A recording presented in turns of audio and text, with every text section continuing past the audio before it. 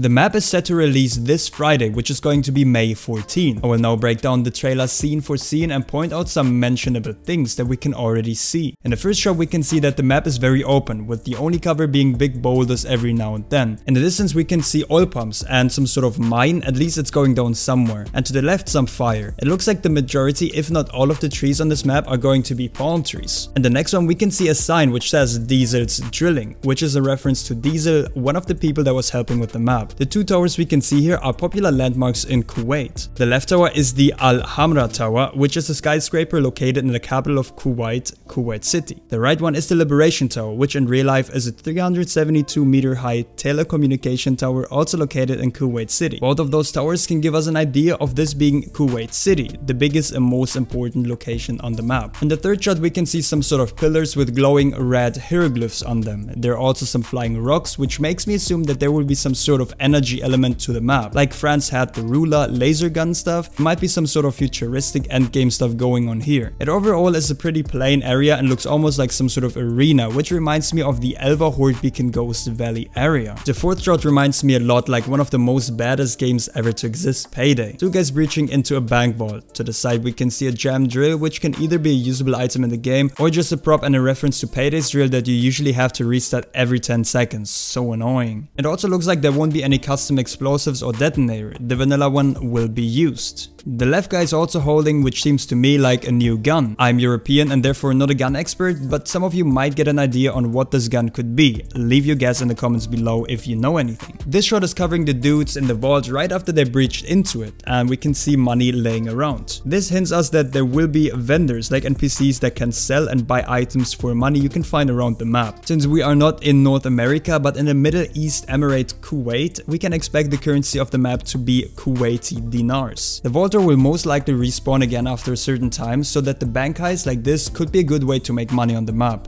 In that shot we see a huge oil field with those towers spitting out fire. Some buildings are surrounded by all the pipes, those will probably contain construction items such as building items or stuff like generators, lamps and so on. In the next shot we see that the map includes some water. This is a lake with close shot on one of the palm trees. We can also see that this one is growing dates which makes it a date palm. So we can expect to get fruit from chopping down these specific palms. In this shot we can see a caracal which is a medium sized wildcat that is native to the Middle East amongst a few other parts of the world. One of the new achievements is called Feline Friends, which might be obtainable by feeding one of those wildcats. I'm not sure if you will be able to tame those mobs, as something like that never existed in Unturned, and I would be really surprised if it actually is like that. But then again, that is just huge speculation, and I really hope it's going to be like that. This shot will give us a closer look on some of the new clothing, including three new backpacks, headwear that we know from the Middle East countries, and also coalition gear. The coalition armor and the fact that the map features 200 quests can make us certain that there's going to be a safe zone again. This safe zone will then also feature NPCs to not only accept and finish quests, but also trade with money you can obtain. We're also getting a look on more guns, one of them being this pistol that has a red dot attached to it. I personally am a big fan of attaching sights on pistols in video games and it makes the gun look cool. And I mean, the better the gun looks, the better it performs, right? To the right we see an assault rifle that seems to have a barrel attached to it. I personally think that it looks a lot like the M16, but then again I don't sleep with a whole arsenal of guns under my pillow. And last but not least we can also see one of the new vehicles, this one seems to be more of the common ones. But from that shot we can tell that this car also includes a trunk backseat or something and that headlamps are indeed obtainable on the map. People would maybe think that we can't really tell anything based on this shot but I'm pretty sure that it hints us better vehicle physics. We know that Elva already had better ones than Vanilla and Kuwait maybe has even better ones than Elva. If you would try that stunt out on Washington, the car would flip around its own axis 100 times until you finally get stuck. This shot shows one of the new implementations of the game. Nelson added a support for custom weather conditions not too long ago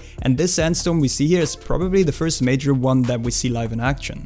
That shot shows us one of the locations including a big water tower in the middle. We can see that it does look very empty and plain and some of the buildings are collapsed. You can see that there's still some room between ceiling and floor which can mean that you can still enter them by crawling inside. In that shot we get a first close look on yet another new gun. For this one I went ahead and asked the creator of the map and he said it's called the Maadi AK which is basically the Egyptian version of the Russian AK. And something else we can get from this picture is a closer look on one of the new sights. The next shot features yet another location, this time it is again a very small and plain, but sadly nothing else we can get from it. Shot 16 gives us a closer look on sports cars that even have neon lighting and spoilers. Those might be the fastest cars Kuwait offers as we saw they also accelerate really damn fast. To the left we can see some parts of a town and in the distance to the right we can see an island. The island does have some buildings and palms on it so this could possibly be the safe zone. The last shot is definitely my favorite one. Just like on Elva, Kuwait also comes with plenty custom structure looks. The first one is going to be the wooden structure, which doesn't seem that good as you can pretty much see inside the base through these walls. Also worth to mention is that there's a shark laying on the table in front of that base. One of the new achievements will be to fish one of those by the looks of it. The second base is made out of brick. We can see that it does feature decorational items like plants and furniture and even a hammock. Third base has a big purple dinosaur in the back of it. This will not be a real dinosaur probably as one of the other achievements are to craft some decor, the dinosaur statue being one of them by the looks of the picture. Something a little hard to spot but still in the shot appears to be a plane that is on the roof of the base, which confirms aircraft on the new map. The fire that the campfire produces to the right by the way is also way bigger than the vanilla one will ever be. And that's it with my Kuwait trailer analysis. I hope I didn't forget to mention any important details. If I did, make sure to let me know in the comments below. Like I said before, the map releases on Friday, May 14th, and I can't wait to make informational videos on the new map, but also gameplay and of course rating ones. I hope you guys did enjoy this video, make sure to leave a like and subscribe not to miss out on more Unturned videos in the future. I'm Panda or P9, and I'll see you in the next video. Bye.